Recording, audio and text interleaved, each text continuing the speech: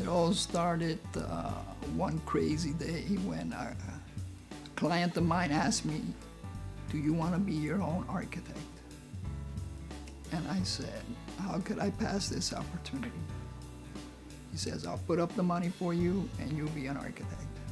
Be it that I learned the hard way how difficult it was to get all the money to open an office. When I finally decide, well, let me see how I can purchase an office with minimum down, that's when I found out about the SBA. And that's how I was able to buy this building. When you're your own boss, there's really no one there to recognize you. So whenever you get anybody to recognize anything that you do, it's kind of nice. And you're inspiring the entrepreneurial spirit of our nation. So felicidades, Thank you so congratulations. Thank you Thank so you so much. much. Thank you. so Thank much. you. Thank Thank you you. so much. very rewarding.